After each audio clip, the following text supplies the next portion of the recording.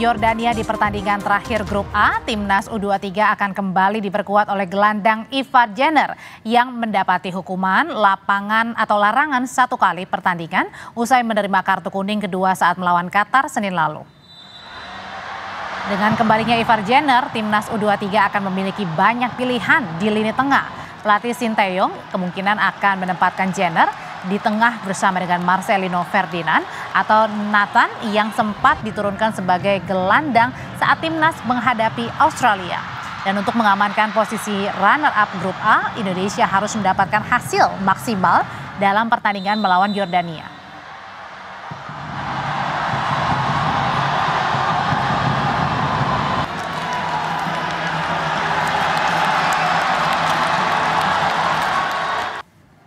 Pelatih timnas U23 Indonesia Sintayong, saudara, yakin timnya bisa melewati Yordania dan maju ke babak perempat final. Usai mampu membuat sejarah dengan mengalahkan tim kuat Australia. Usai mengalahkan Australia, Sintayong sudah mulai berhitung soal calon lawan Garuda Muda di babak perempat final Piala Asia U23. Juru taktik asal Korea Selatan itu mengatakan akan lebih mengamati permainan Korea Selatan dan Jepang Timnas Indonesia U23 berada di posisi kedua dengan tiga poin. Rizky Rido dan kawan-kawan hanya butuh hasil imbang kontra Yordania di laga terakhir fase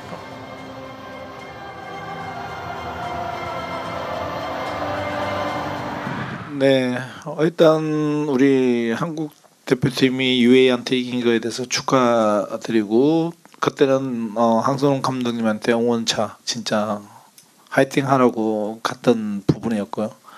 어, 내일은 이제 어, 좀 더 집중 있게 경기를 보면서 어, 분석을 해야 될 것이다. 어, 분명히 어, 저는 8강을 올라갈 것이라고 어, 자신을 하고 있기 때문에 어, 아마도 한국과 일본을 좀 더 집중적으로 어, 분석을 해야 되지 않을까. 어, 일단 그렇게 생각하고 있습니다. Pelatih Timnas U23 Indonesia, Sinteyong, saudara kemungkinan tidak akan hanya berhenti pada hasil seri melawan Yordania besok. Shin kemungkinan akan menggunakan formasi 3-4-3 dan untuk memaksakan saat lawan Yordania. Berikut ini saudara adalah prediksi formasi Timnas U23 versus Yordania besok. Tiga posisi di lini depan kemungkinan akan diisi Rafael Struik, Marcelino Ferdinand, dan Witan. Sementara itu di tengah akan dijaga Ivar, Nathan Joan, kemudian juga di sayap kanan ada Fajar Fatur Rahman, dan kemudian di kiri ada Pratama Arhan.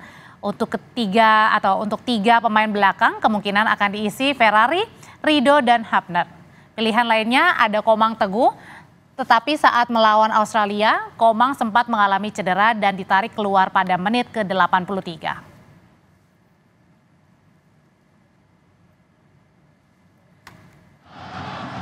Timnas sepak bola Indonesia tidak memiliki catatan pertemuan dengan Yordania untuk pertandingan level tim di bawah usia 23 tahun.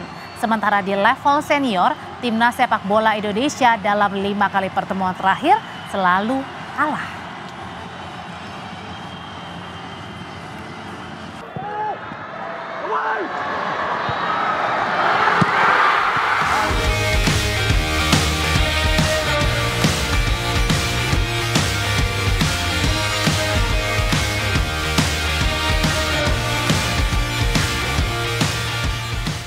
Perjuangan timnas untuk bangkit di Piala Asia U23 tak mudah.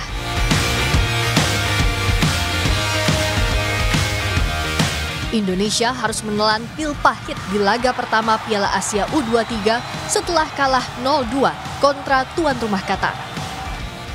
Kepemimpinan wasit pun jadi kontroversi karena dinilai menguntungkan Qatar. Mulai dari memberikan penalti kepada Qatar hingga mengkartu merah pemain tengah Indonesia Ivar Jenner Wasit menilai Jenner menginjak lutut bek Qatar.